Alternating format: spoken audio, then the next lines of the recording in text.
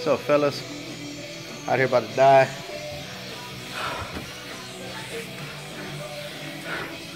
Got a color sand.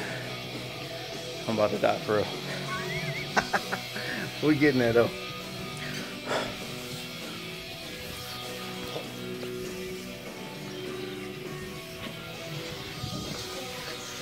I don't know how good y'all can see.